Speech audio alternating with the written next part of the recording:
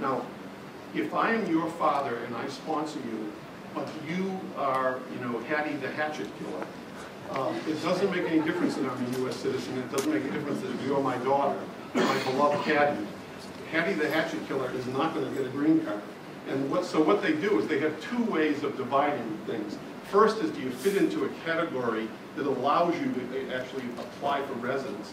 Then you apply for residence, and then they put you through this grid of excludability, the health issues, political, criminal, past immigration violations, and economic.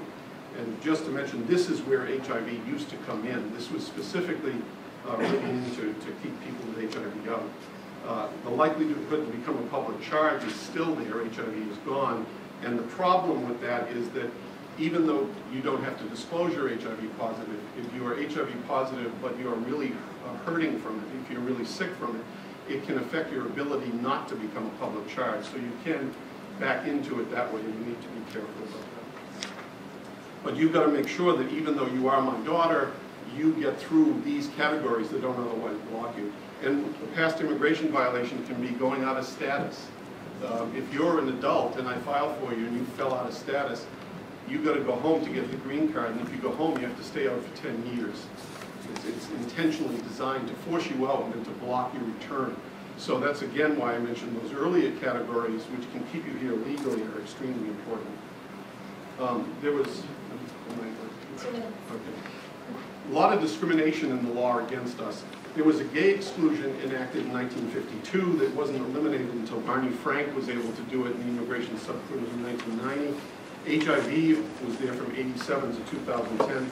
DOMA, the Defense of Marriage Act, is affecting us in a big way now, and there are restricted recognition of transgender rights.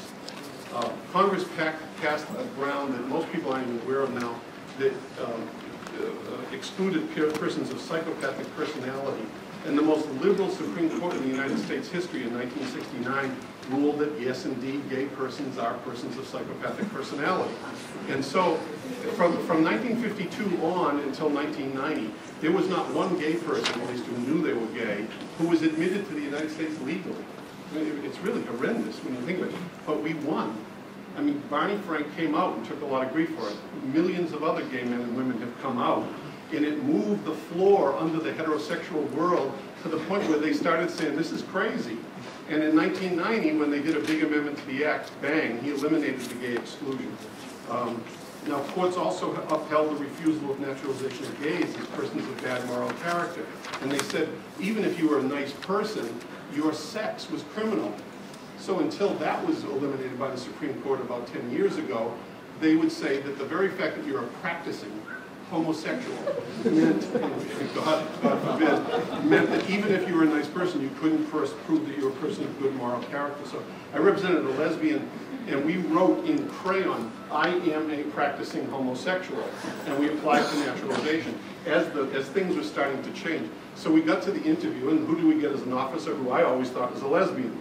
So we're sitting in the room, and she goes, she goes through everything, and I'm saying, my God, can you see the lipstick? It says, I am a practicing homosexual. She goes through the whole thing and says, I'm going to recommend it for approval. We said, you can't. She's a practicing homosexual. You just can't do that. You've got to deny her, because we wanted to appeal.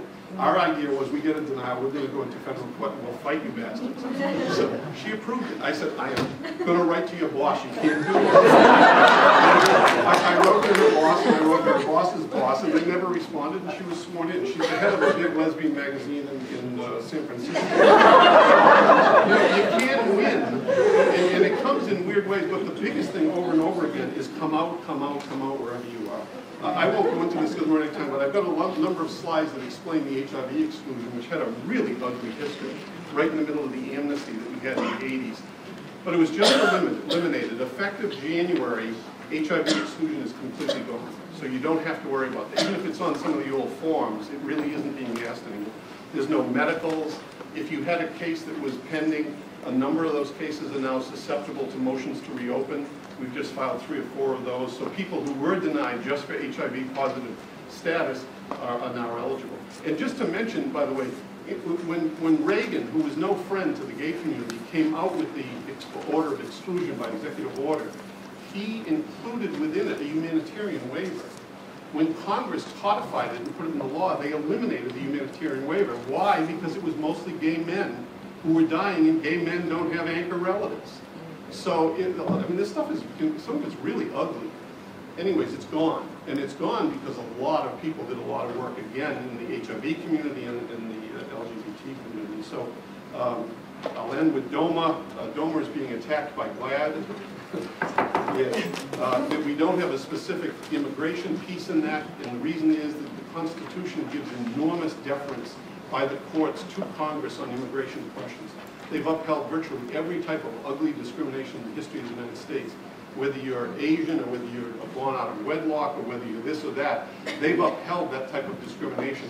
They're not as likely to do that, and, and, but the, the challenge on the immigration side is a weak link, so they're challenging DOMA on a number of other fronts. The, the chances are that we can win that. If we do, there'll be a, a big uh, uh, implication for, um, uh, you know, for, for the defeat of DOMA across the board. And then finally, there's a good Board of Immigration Appeals case that recognizes marriage between a man and a woman where one is transgendered, but you do have to have in birth certificates. Uh, and GLAD um, just did an amicus brief for a couple that were male and female when they filed. After they filed, while the case was pending, um, was one of the, the male petitioner had an operation. They found out about it in Hampshire and they denied it, as though somehow it retroactively eliminated the validity of marriage. So that's on appeal, and GLAD did the amicus brief on that. So anyways, I hope that's helpful. It's a lot quick. I'm sorry it's so fast.